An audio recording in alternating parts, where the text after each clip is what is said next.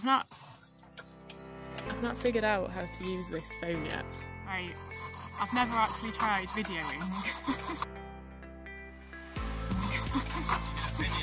I am, I'm doing I'm doing it. I can't like it's embarrassing. so it's how many days till the Great Yorkshire Show? It's Wednesday today.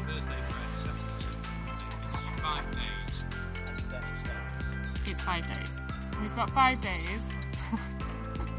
and um, we're sort of frantically, like, well, it's not that frantic, but um, we real there's, there's a certain amount of frantic. I think we're just like, it's fine, it's fine. We've not got that much left to do, um, but there is a little bit left to do. We have over here in the in the green corner, we have Pete. Pete on feather sticks. and uh, Pete has just been. Good job. There's a lot of editing that I can do